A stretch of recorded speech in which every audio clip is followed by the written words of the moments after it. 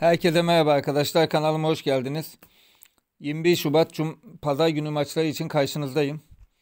Bugün sizlere üçlü bir kombine hazırladım arkadaşlar. Toplam oran 2.73 yapıyor. Sizden ricam öncelikle bu videoya bir beğeni bir yorum atarsanız sevinirim. İlk maçımla başlayayım. İlk maçımız İtalya Serie B'den Lecce Cosenzo Calcio maçı. Saat 23'te başlıyor.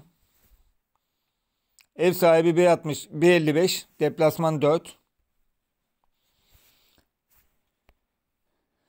Şöyle bakarsak ev sahibi 8. sırada.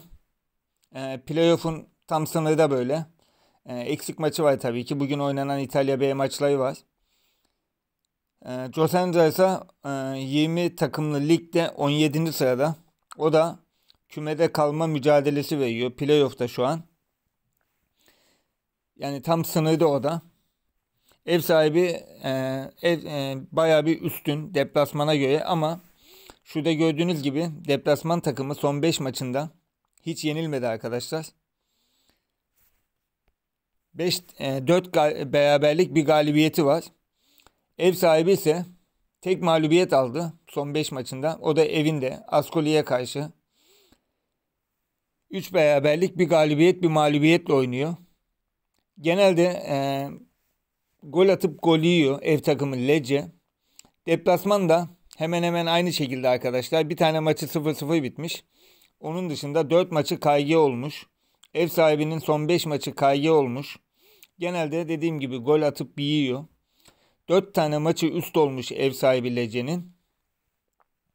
Deplasmanın 2 maçı üst olmuş olmuş. 3 3 maçı alt olmuş. Ee, oranlardan da anlayacağınız gibi arkadaşlar ev sahibi büyük favori ama artık birçok ligde kimin ne yapacağı belli olmuyor. Benim bu maç için tahminim arkadaşlar 1.62 2.5 üst. İnandığım, güvendiğim bir maç arkadaşlar. Gelelim ikinci maçımıza. İkinci maçımız Fransa 1. Liginden Nimes Bordeaux maçı saat 17'de başlıyor. Ev sahibi 2.65. Deplasman 2. Ev sahibi 20 takımlı ligde 19. sırada. Ee, çok kötü durumda. Ee, şimdiden yavaş yavaş e, playoff'un üstündeki takımlarla işte Lorient, Strasbourg gibi fark açılmaya başladı. E, Bordeaux'la 11. sırada. E, orta sıralarda kendine yer bulmuş gibi. Kolay kolay e, yenilen bir takım değil. Bu sene yani değildi. Bu sene e, daha çok gol yiyor. Daha kolay goller yemeye başladı. Şu an gördüğünüz gibi dakika 90 Atletico Madrid'de evinde gol yedi. 2-0 oldu. E, bir önceki maçta da berabere kaldıkları bir takım. Levante. Evinde yenildi. Ee, yine size büyük bir sürpriz. Kimin ne yapacağı hiç belli olmuyor. O yüzden hep diyorum taraf bahsi bana göre çok ters. Yani 3 alırsanız B2 verirsiniz. O da zaten bir şeye e, değmiyor bence. Gelelim maçımıza. Gördüğünüz gibi ev sahibinin son maçı hariç arkadaşlar çok gollü geçmiş maçları. Ee, genelde 3 tane maçı 3.5 üst bile olmuş. Paris Saint Germain maçı 3-0. Son maç e, Dijon'u deplasmanda 2-0 ile geçmiş Nimes.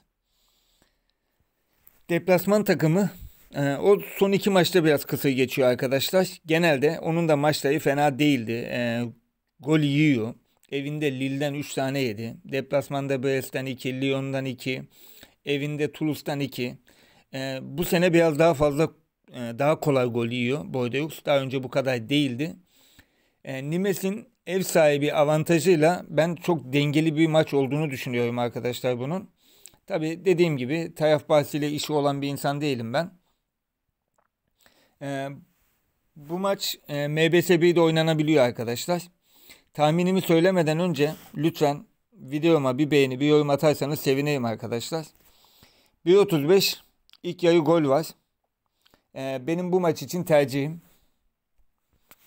Gelelim üçüncü maçımıza. E, burada istesek e, bunları tekli, ikili bile oynayabiliriz arkadaşlar ama e, üç tane güvendiğim maç olduğu için size üç tane verdim. E, vereceğim bugün. Yani amaç az verip Aa, videoda tutturdum demek değil. İstesem dediğim gibi ikili bile yapabiliyordum. E, üçüncü maçımız İtalya Serie A'dan Parma Udinese maçı. Ev sahibi 3, deplasman 1.85.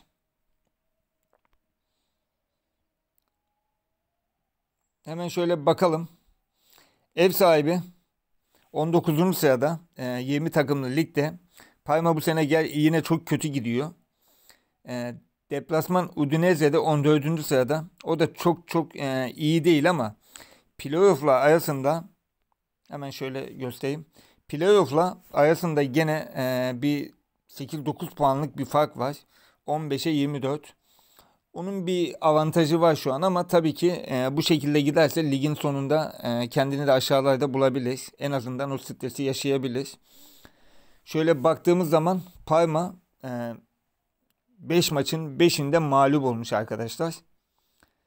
E, kolay kolay gol atamıyor. E, şöyle baktığımız zaman 3 maçta gol atamamış. E, attığı 2 maçta da Lazio'ya 2-1 yenilmiş. E, Verona'ya 2-1 yenilmiş.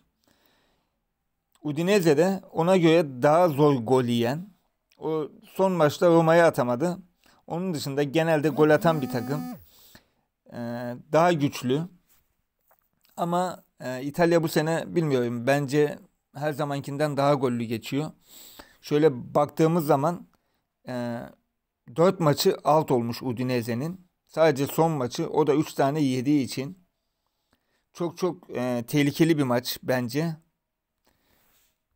E, şöyle oranları göstereyim arkadaşlar. Bu maça e, alt oynayan çok olacaktı. Ben bu maçın alt olacağına inanmıyorum. Ben bu maçı sizlere üçlü kombine verdiğim için bir buçuk üst bir 25'ten veriyorum arkadaşlar.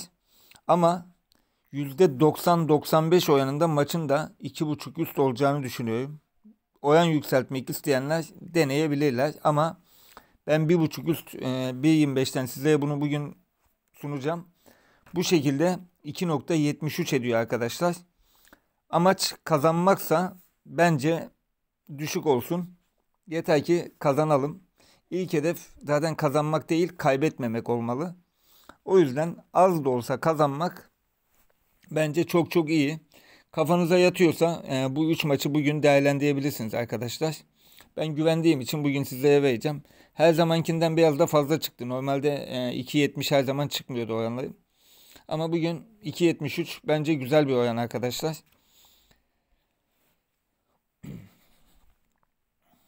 Bunun dışında arkadaşlar size e, katıl grubumdan bahsedeyim. Şöyle katıl grubuma gelebilirsiniz arkadaşlar. E, 50 TL'ye her gün güvendiğim bir maçı atıyorum. Onun dışında e, daha üst gruplar var. Gördüğünüz gibi e, canlı maçlar var.